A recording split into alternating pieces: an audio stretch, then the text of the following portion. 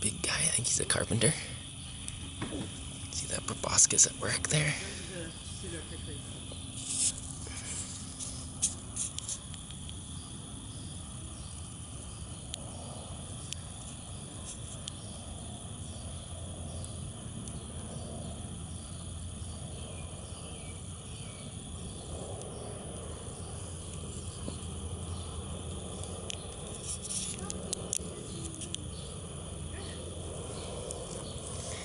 enormous.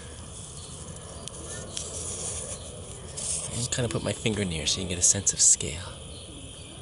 There you go.